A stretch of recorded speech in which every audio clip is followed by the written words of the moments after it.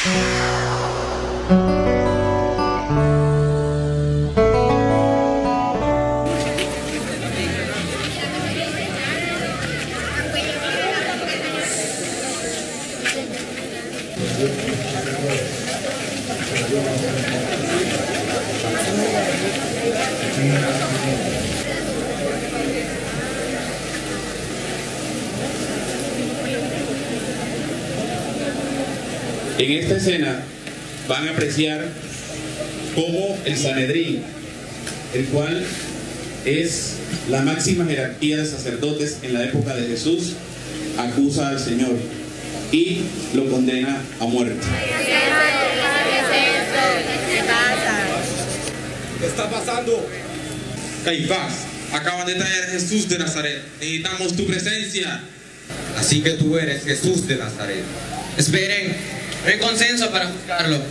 Somos minoría y no podemos decidir si es culpable o no. Si no te gusta nuestra decisión, puedes retirarte de este recinto.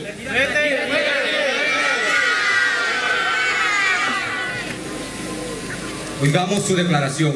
Juran, juran todos por el Dios viviente declarar toda la verdad y solamente la verdad. Oigamos su declaración. Este, este hombre dijo, yo puedo destruir el sagrado templo de Dios y reconstruirlo en tres días. Eso significa blasfemar contra el templo y la ley manda castigar a los blasfemos apedrándolos. Debe morir, es un blasfemo, blasfemo.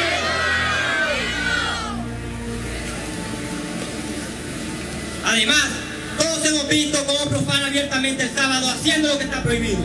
E incita a los demás a violar el gran precepto del sí mismo profeta y hasta ha tenido el atrevimiento igualarse a Moisés, al Mesías, a la ley del Altísimo. Es un blasfemo que contamina a nuestro pueblo santo. Y solo apedreándolo se quitará esta mancha colectiva.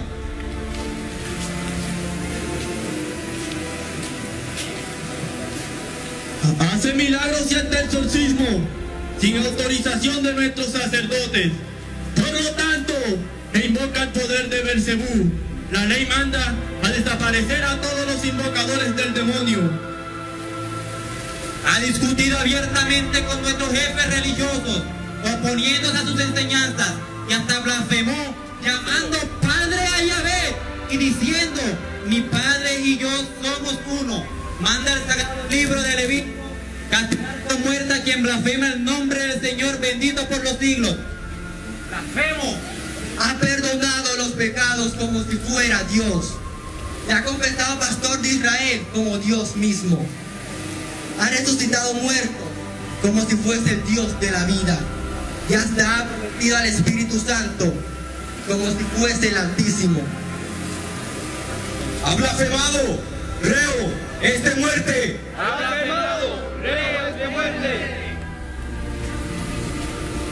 ¿No tienes nada que decir o declarar a tu favor en contra de los testigos? ¿No tienes nada que decir? ¿Qué es esto que declaran en tu contra? Yo he hablado públicamente delante de todo el mundo y he enseñado en la sinagoga, en los templos. Así que no he dicho nada en secreto. ¿Por qué me preguntas a mí? Pregúntale a los que me han escuchado. Ellos saben que les he dicho. Respetuoso judío. Así es como le responde. Así es como le respondes al representante de re- de- en el Altísimo del pueblo. Si alguna vez he, hablado mal de vuestra, sino porque me pegan. ¡Basta ya, Jesús! Te mando que en nombre del Dios vivo nos contestes. ¿Eres tú el Cristo, el Hijo de Dios? Tú lo has dicho, así es, tal y como lo acabas de decir. Y les anuncio que a partir de hoy verán al Hijo del Hombre sentado en la derecha del Todopoderoso y viniendo entre las nubes. ¡Ha blasfemado! ¿Para qué necesitamos más testigos? Ustedes mismos acaban de oír estas escandalosas palabras. ¿Qué les parece? Nosotros no tenemos derecho de espada reservado hacia los ciudadanos romanos. Así que llevémoslo ante nuestro gobernador y que sea él quien dicte la sentencia. Pero procuremos no entrar al palacio de un pecador para no contaminarnos. De lo contrario, no podríamos celebrar la fiesta de Pascua. Pero ¿qué acusaciones podremos hacer que interesen a Pilato y puedan condenarlo a muerte? Diremos que este hombre es un alborotador galileo. Ya ves que le temen a los galileos de la guerrilla. Diremos que va al impuesto y predica que no nos paguen. Y además pretende hacerse rey y por esto anda sublevando al pueblo. Es un crimen muy grave de lesa majestad. Tú, equivocas.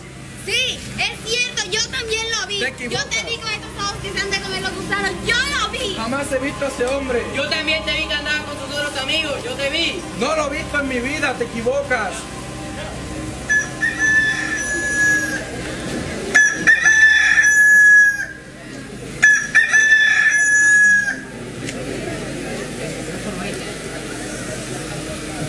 Llévenlo ante Pilato.